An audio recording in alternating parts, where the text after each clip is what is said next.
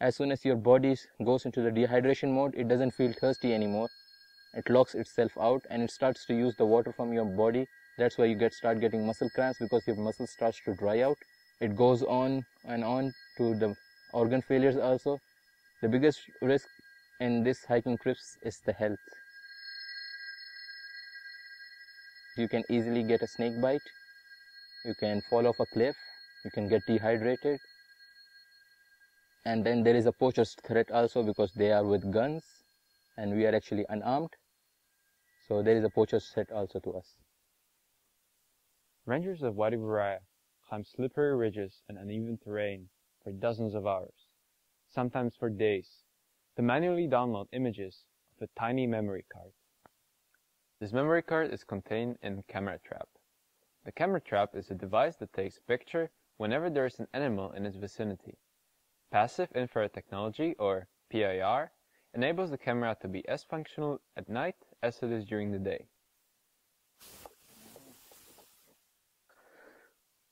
Well, for the time being, we need to go on and to each of these camera traps, take the uh, memory card, download the memory card in a computer, and uh, replace the uh, uh the memory card for next round of, uh, of, of photos. So it's very uh, it, it's very long. Yes, if we could have something like a drone who is going and downloads data directly from each camera trap that would save us a lot of time and money and energy and also uh, risks that we are taking uh, going there. Our solution to these issues is the Wadi Drones program. We want to introduce autonomous electric fixed-wing drones into the Wadi, which will wirelessly collect the photos from the camera traps. Since the camera traps are a crucial element of the conservation of wildlife in Wadi Wurayah, the drones will help document and preserve the vast and underappreciated diversity of the UAE's wildlife. We divided our efforts into two parts.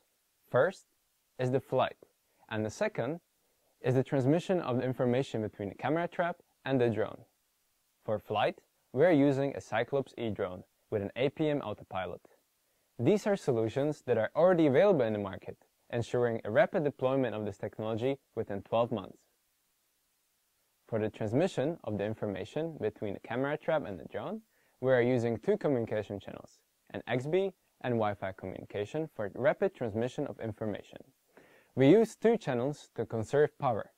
The XBee utilizes far less power than the Wi-Fi connection. Using these two systems simultaneously maximizes the battery lifetime of the camera trap. We envision the drone taking off from the headquarters of Wadi Wurayah National Park. It will fly through the wadis and over the mountains to reach a camera trap, and circle it while it wirelessly collects the information from the camera trap. Connecting Raspberry Pi microprocessor to the autopilot system provides greater decision-making capacity to the system. The drone will know to return to the base when it collects all camera trap photos, or when it runs low on battery. First of all, in my experience, which covers over 30 years as an entrepreneur, and an innovator, uh, it's not uncommon for me to see uh, people coming to me with uh, solutions that do not really have a problem to solve. It, those are usually solutions looking for a problem. In this case, it's extremely apparent that it's a, they have uh, identified a real problem and have come up with a solution that actually makes sense. Um, the, the technology that's being used in the Wadi Wurayah project is incredibly important from my perspective because it provides an easy way for managers and uh, rangers to go out and actually collect the data. Um, so this is an incredibly important technology that'll make the process much more efficient in terms of driving management decision making. Uh, yeah, there are very interesting solutions to put in place with drones. There is a, a dream actually here to recreate uh, what the nature should, should have always been uh, in the UAE and it's possible to do that